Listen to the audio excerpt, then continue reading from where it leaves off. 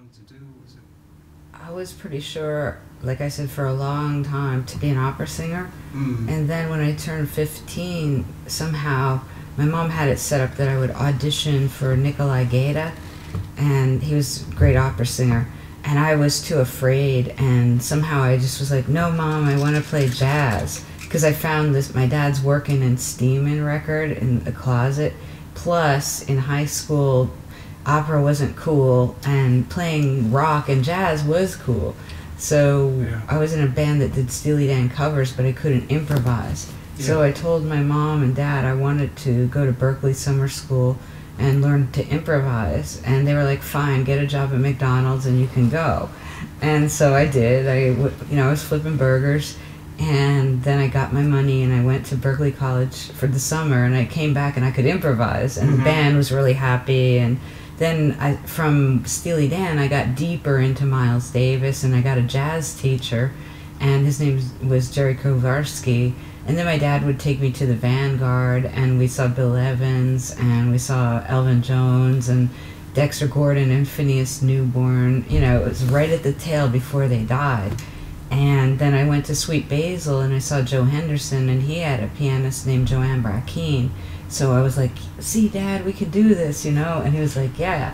So then I started studying with Joanne Brackeen, and she was a great teacher. And then I went off to college to New England Conservatory, and I focused. I thought, okay, only jazz, no rock, nothing. But then one of the first people I met was Regina Carter, because she was my roommate at school, and she introduced me to the Detroit crew, which was Najee and Bill Banfield and all these guys that played, um, you know, instrumental R and B. You know, kind of coming from.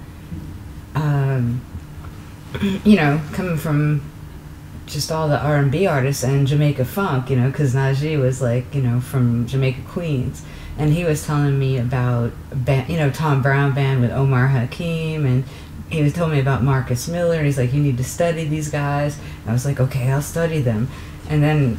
Then the next thing that happened was there was no piano in the rehearsal room anymore. There was a Rhodes, and I was like, "What is this, Najee?" And he's like, "You're gonna play that now because you gotta play electric keyboards." And I'm like, "Okay."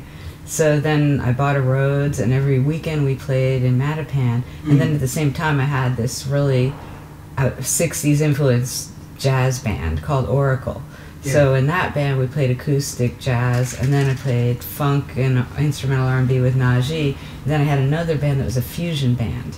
So you're kind of all over the place. Yeah, I had keyboards, and it was like kind of Pat Metheny influenced, Yeah. and you know, I fancied myself Lyle Mays, you know, and so I, I got a lot of self training in Boston because Mm. there was a lot of gigs, there was time and freedom, and Mhm. So then some of those gigs I hired Randy Brecker to come up and play with my Oh, yeah. band. And I had um, Billy Hart came up, Mhm. and every Wednesday I played at Ryles with with um, Bob Moses, Mhm. who was a killing drummer. So I always had really great drummers to, helping to influence and Mhm. you know get me to swing authentically, Mm. which was important to me. You know, to Yeah. try to really get. I loved '60s Miles, so I really wanted to get You know, that first together. there were, And then yeah, the well, there was style the of Mike day Mainieri was thing fusion. first, and that was amazing. That was like five years of really getting my butt kicked, you know, because that was the first time I was really with higher level players like Victor Bailey, Yeah. and he was just very serious about you know the music and the situation with Steps Ahead and Victor Bailey, an amazing bass player, amazing you know just his chops were ridiculous and so he was very serious about the music and about making things happen and and about what I should be doing and you know so he was really strict he was um, really trying to push me to get it together and make Mhm. sure that I was stepping up every gig you know Mhm. so that was a great education. And Mike Mainieri, you know, amazing. He would just show you by the way he played, you know, his his melodic sense, compositional sense. Mhm. So he was expecting me to really interact and So lead the I got a lot band, you know. and he's, him. you know, then was pretty- playing with got a lot Wayne Shorter, um, basically the High Life record.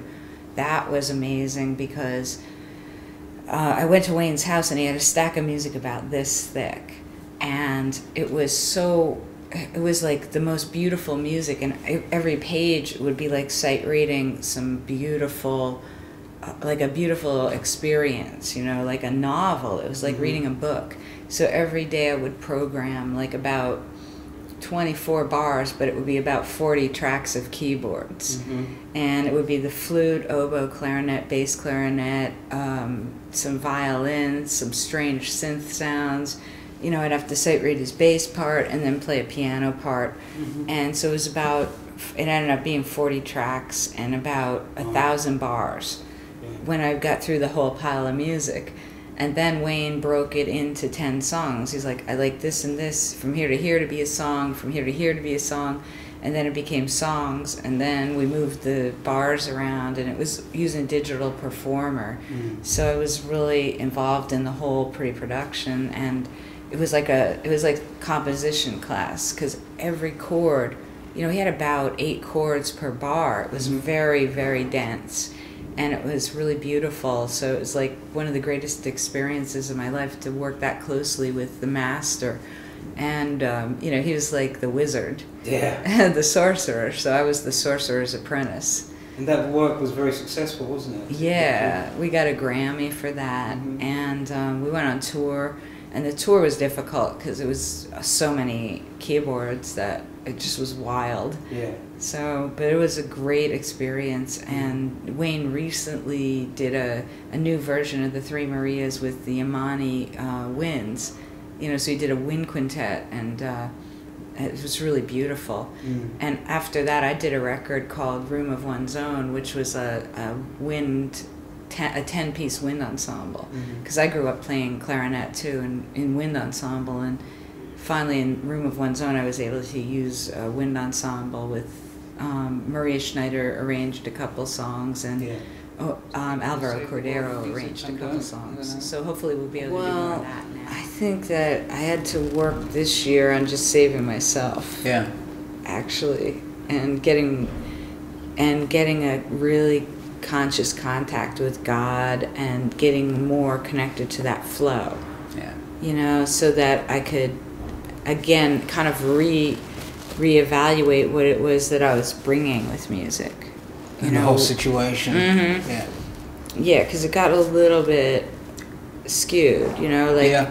after playing with gabriel that was a brilliant situation Mm. he is so connected to his reasoning you know the the gabriel thing was instructive because he did a whole thing on his tour was growing up it was the growing up tour Yeah, I know. so, and that really meant a lot to him. He was serious. He was actually not a young kid, but he felt like he was just growing up. And that was interesting to experience a, a little bit older man still trying to grow up.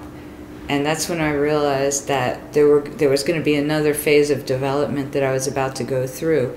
And then according to a numerologist, this year I'm supposed to be doing spiritual development.